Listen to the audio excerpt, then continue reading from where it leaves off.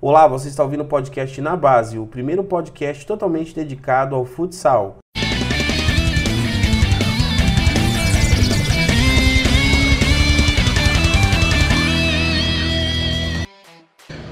Hoje no Na Base eu estou aqui com o Dilson Júnior, ele é treinador de base do futsal do Fluminense.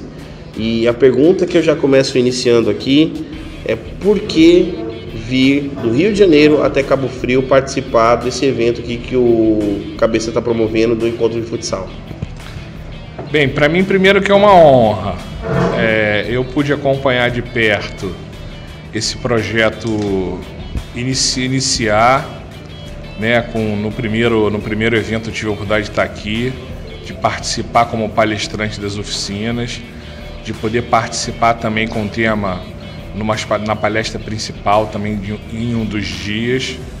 É, e vi que pelo primeiro movimento que foi feito com foco exclusivo para as categorias de iniciação de base, é, o, que, o que aconteceu aqui no primeiro evento. Então, que chamou muito a atenção o intercâmbio, é, tinham aqui pessoas de diversos, diversos estados, é, treinadores é, de adulto, como também da iniciação e da base, uma nova safra de treinadores aí que estão chegando. E a gente pôde ter contato com eles durante uma semana, de forma muito proveitosa. Então, quando o professor Cabeça é, lançou a ideia do segundo encontro, do segundo estágio, é, rapidamente me coloquei à disposição, porque acredito muito nessas formas de qualificação, né? As pessoas poderem cada vez estar mais é, aprendendo um pouco mais sobre a modalidade. E aqui, durante essa semana inteira, a gente tem, dentro da modalidade de futsal, diversas áreas, né? E, e eu acredito muito que é né, nesse caminho que o profissional vai se qualificando. Porque ele vai pegando coisas de bom, que ele vai aprendendo com cada treinador e ele encontra a sua maneira de trabalhar. Então é um evento único, sempre que, que for realizado aqui em Cabo Frio, a cidade também tem um atrativo muito grande, né? É, a gente vem aqui para poder colaborar, para poder ajudar, porque a gente acredita muito nesse tipo de projeto. É muito comum uh, o futsal ser desenvolvido em projeto social, em escolas, né? E às vezes nos grandes clubes ele ser como uma modalidade secundária e terciária. É, o que, que você acredita que faça com que ele seja tão valorizado no meio de ensino e de trabalho social e às vezes tão desvalorizado no meio profissional, assim, vamos dizer, dos grandes clubes, dos grandes nomes aí do cenário nacional do futebol? É, eu enxergo assim que devido aos crescimentos das suas das cidades, né, em si, em geral, é, hoje em dia essas gerações aí acabou um pouco as brincadeiras de rua, acabou um pouco o futebol de rua. E as atividades que eram realizadas nesses espaços passaram a ser em quadras, passaram a ser em quadras de colégio, em quadras de condomínio, é, nos clubes sociais, né? E isso vai ganhando gosto para a criança ao longo do seu período de iniciação, né? Você vê que o primeiro contato, eu sempre falo assim que o primeiro contato dessa criança com a bola é ali no seu ambiente familiar, é, as coisas vão pegando o gostinho, a pessoa, o menino vai para uma escola ou algum projeto social. Dali as coisas vão andando, ele entra num clube, aí ele já começa a competir em nível federado, até então que ele vai se desenvolvendo na modalidade, né? Com um caminho para o futsal ou um caminho para o futebol de campo. Já que os dois esportes, é, independente de serem diferentes, possuem algumas semelhanças e algumas coisas que contribuem um com o outro nas suas respectivas modalidades, na formação. Então assim, o futsal hoje ele, ele tem uma grande importância. Ele, para mim, se no, lógico que a gente não tem como comparar com o futebol, mas se não for o segundo, está ali entre segundo e terceiro como um dos esportes mais praticados no Brasil. Né? O futsal é muito enraizado em todo, em todo o território nacional. Há grandes profissionais. E agora, sim, lógico, é, a gente entende também, isso também não entendo como um problema acho que de repente algum problema são outros. A criança sempre vigila ser jogador de futebol, né? Mas ela entende hoje, os clubes também estão entendendo hoje que tem uma etapa de iniciação e na base, na formação dele, que passar pelo futsal, o menino chega com outros tipos de conteúdo, chega mais preparado ao futebol. Então, por isso que a gente entende hoje esse fenômeno todo, as crianças todas procurando o futsal, procurando a quadra, até porque é um espaço um pouco mais reduzido, mais familiar para ele, então, portanto, ele, com isso, ele consegue ter mais interação com o jogo e com a bola. Não incomoda um pouco essa questão de o futsal meio que ser uma, uma coisa de transição, preparação para o atleta ir para o campo? Não, para mim não me incomoda. Eu acho que. Eu sei que tem alguns salonistas que se incomodam um pouquinho, mas para mim não. Eu acho que, na minha, no meu forma de entender, seria um egoísmo muito grande da nossa parte também é, achar que. Porque tem jogador que vai ter espaço para tudo. O futsal não vai acabar por conta do futsal. Né? Lógico que agora aumentou muito mais essa procura, mas desde lá da sua, do seu início, é, de Zico, de Pelé, de tantos outros craques, tiveram seu início no futsal. O que cabe agora é a gente, num futuro, é, ou bem mais próximo, aí cada um vê da sua maneira, é, já que hoje a gente entende que há realmente a contribuição do futsal para o futebol, que em algum momento o futebol possa, possa nos dar esse retorno, né, para que mais investimentos aconteçam na modalidade, para que a gente consiga ter um pouco mais de estrutura, é, para estar tá desenvolvendo mais atletas. Né? Então hoje é uma briga também de muitos salonistas que a FIFA reconheça o futsal como modalidade formadora, que hoje não é para que a gente possa também do futsal fazer parte dos mecanismos de transferência. Né? A gente vê muito menino com, com início, com a sua origem início no futsal, que depois quando, vi, quando entram para o futebol de campo e aí são negociados a, a euros, dificilmente uma, uma fatia desse bolinho aí vai para a modalidade futsal. Agora, o futsal sendo reconhecido pela FIFA como modalidade formadora, aí não. E a gente está lutando, já é um movimento para que isso aconteça a longo prazo, a médio a longo prazo, não a curto, que o futsal, que o futebol possa retornar tudo isso que ele recebe de contribuição. Para quem está ouvindo o podcast e está se interessando às vezes em começar a praticar o futsal ou desenvolver a modalidade na escola, é, você acredita que qual o limite de idade para poder a pessoa praticar esse esporte profissionalmente, né? E qual a, a idade base para começar? Bem, isso é um outro tema também que às vezes gera um pouco de, de discussão, né? A que idade se iniciar, né? Alguns têm um certo restrições, os meninos começam com 4, 5 anos, e eu não tenho essa restrição. Eu acho que quanto mais cedo melhor, porque você vai proporcionar essa criança um ambiente é, do esporte desde cedo, desde de, de que ele já possa é, se caminhar, se desenvolver em alguns aspectos na quadra, porque o nosso esporte ele é muito rico para os aspectos, principalmente quando a gente fala em aspectos motores e cognitivos. Então eu entendo que colocar a criança no meio no esporte desde cedo, é, e quanto mais cedo hoje está sendo cedo, eu não vejo problema não. Eu vejo que é um, é um, é um grande barato é, essa criançada está toda aí correndo atrás da bola em quadra, nas escolas, nos projetos sociais. A gente tem tirado, a gente, eu percebo os projetos sociais a gente tirando muito jogador da rua, porque está justamente nesse ambiente para ele que é prazeroso e ele, ele também vai e ele também é uma contribuição até para sua formação como cidadão, né? Ele ali ali o esporte é, se forma ali também através do futsal esporte, né? É, não só técnica, tático, físico, principalmente o mental também. E outra, e já desde cedo também vai entendendo que é um jogo cooperativo, não é um jogo individual, é um jogo associativo, tem interação entre ele e outras crianças. O futsal é um esporte altamente democrático, onde tem oportunidade para todos estarem participando, do mais alto, do mais baixo, o mais veloz, do mais lento. É um espaço que absorve esses tipos de criança todo. Além de ser gostoso. E, e, o limite de idade, por exemplo, se a criança resolve seguir carreira e fala assim, ah, eu vou jogar futsal profissionalmente, vou, vou seguir carreira aqui e vou até o limite. Qual seria esse limite que a pessoa pode seguir essa carreira no futsal? Eu posso dar até o exemplo do clube que eu trabalho, que é o Fluminense, né? Que os meninos chegam o futsal é a porta de entrada do clube. Os meninos chegam com 5, 5, 6 anos de idade, ficam praticando futsal até 9. De 10 a 13, os meninos jogam e treinam as duas modalidades.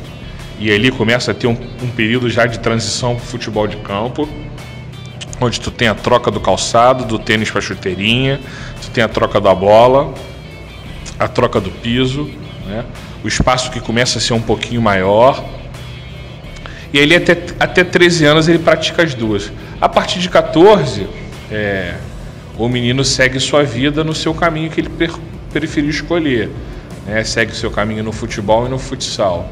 E no futsal, a partir de 15, é, já, ele já vai vislumbrando também a possibilidade, se, se não deu muito certo no futsal, de seguir carreira no, no, no futebol, seguir carreira no futsal.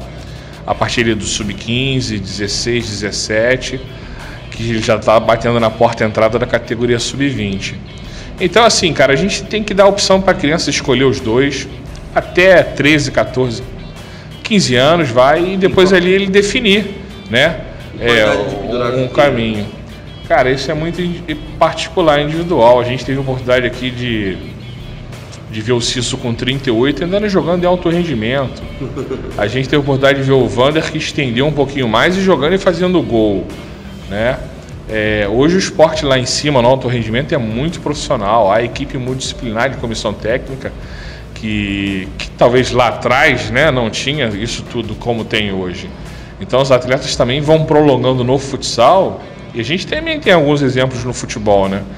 Uma rapaziada que vem prolongando um pouquinho a sua, o seu encerramento de carreira e não se, e não se engane que, que, que não, não, não em alto rendimento, não eles conseguem, lógico, não tem a mesma força, a mesma velocidade do que o menino de 20, 22 anos, mas conseguem ainda estar é, tá jogando em alto rendimento.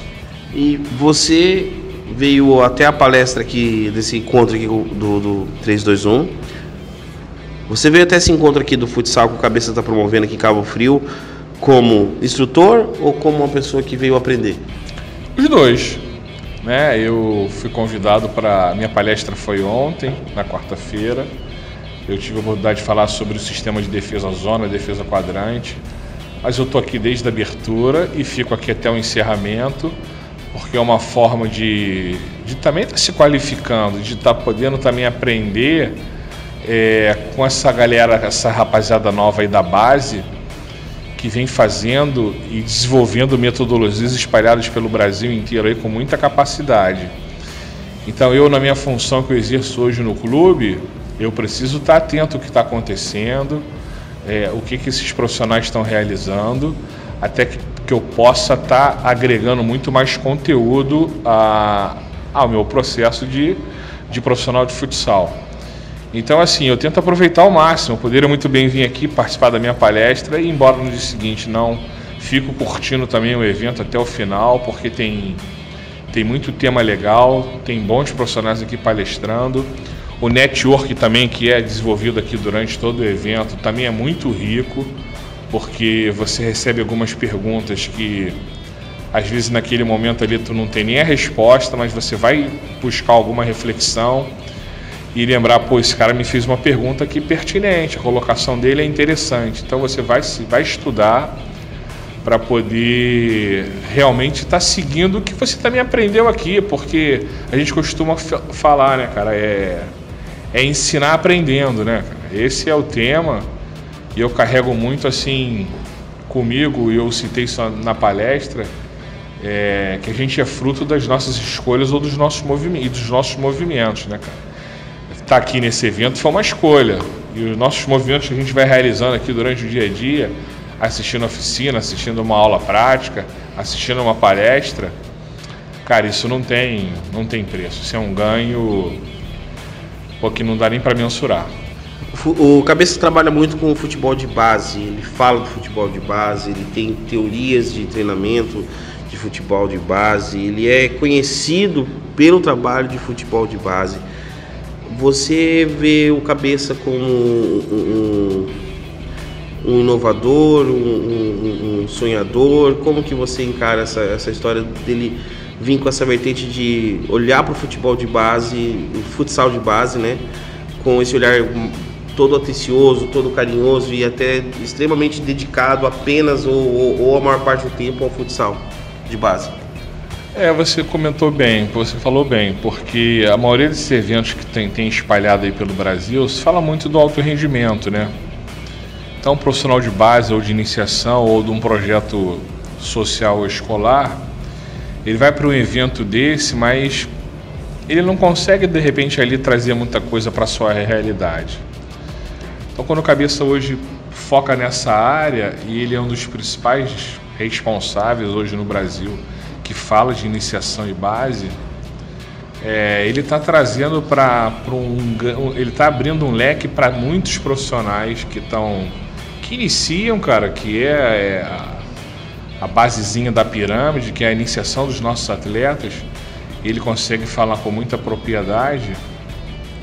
É um tema que era pouco explorado, né, cara? E a gente olha só no primeiro estágio, um número X de profissionais aqui que já vinha desenvolvendo um trabalho de base há muito tempo. Agora veio outros.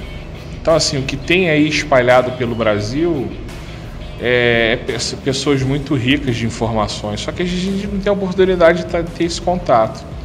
E nesse evento aqui a gente consegue ter contato é, e direcionar todas as nossas falas ou os nossos materiais justamente para esse tipo de perfil de treinador, né? que está cuidando ali da iniciação, quando os meninos chegam nas escolas, chegam nos projetos, é, que dali partem para o segundo momento na base, que são as equipes federadas.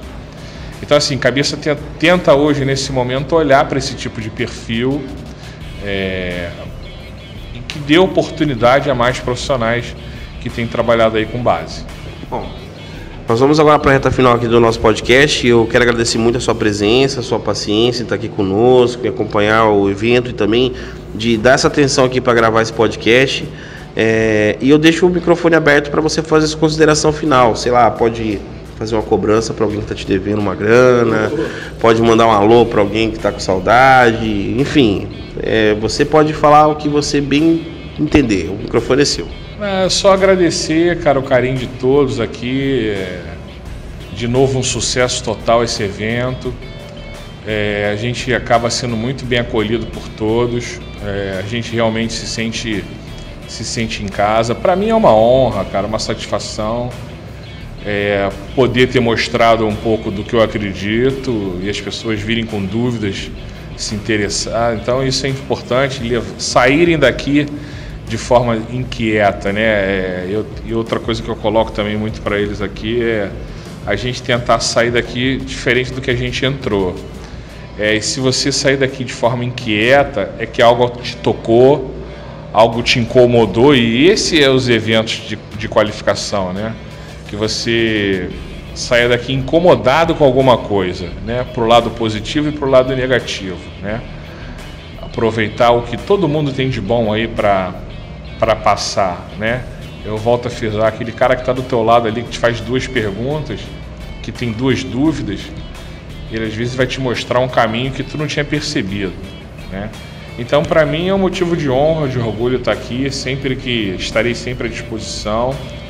Primeiro porque a gente ama modalidade de futsal, né? E segundo porque a gente entende que isso é uma contribuição também que a gente pode dar, né? O conhecimento ele está tá espalhado aí e ele precisa ser compartilhado, precisa ser dividido para que tenha o crescimento da modalidade. Então eu só agradeço o carinho, muito obrigado a você também pela, pela essa parceria aqui é, e que a gente tenha num futuro outros eventos desse, que não pare por aqui no segundo, tem um terceiro, quarto e quinto. A semente já foi plantada e agora a gente a ideia é começar a colher os frutos. Muito obrigado. Obrigado e sempre que quiser retornar ao nosso podcast, fica aberto o convite, tá ok? É, a gente pode estar é, buscando aí o ano todo falar sobre futsal, porque tem muito assunto para debater, muita coisa para falar. É uma modalidade subjugada por muitos, mas que é muito rica e, e cada dia mais tem agregado mais valor ao treinamento dos atletas e também tem sido também destaque aí como uma forte ferramenta pedagógica também nas escolas e tudo mais. E conversar com alguém como você que traz para a gente toda uma visão é, profissional de um clube grande do cenário nacional é uma honra, uma satisfação e eu acho que eu posso agradecer em nome de todos nós aqui que estamos trabalhando aqui no evento do Cabeça, na, na questão de estar produzindo esse podcast e também de quem está ouvindo. Obrigado. Eu que agradeço, obrigado a todos. Valeu.